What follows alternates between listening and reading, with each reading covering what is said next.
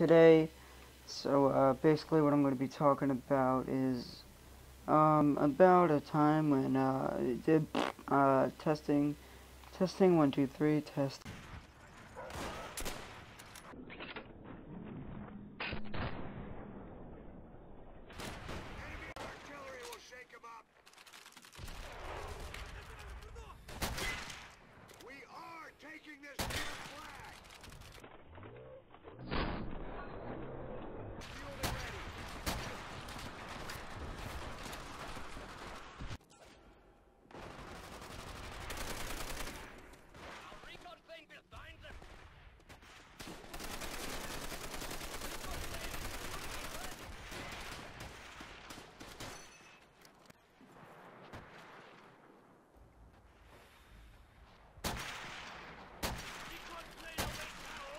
Oh, oh,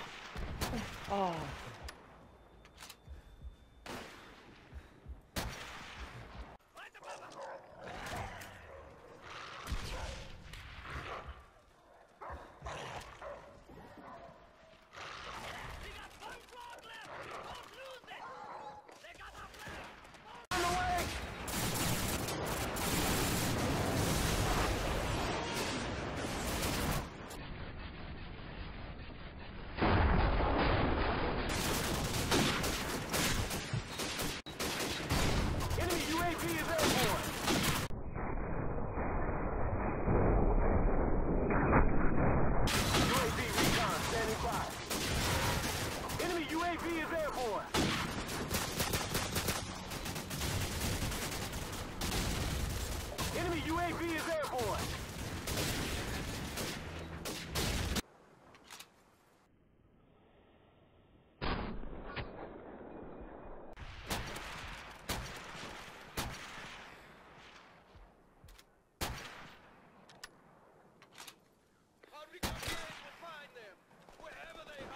Yeah, this is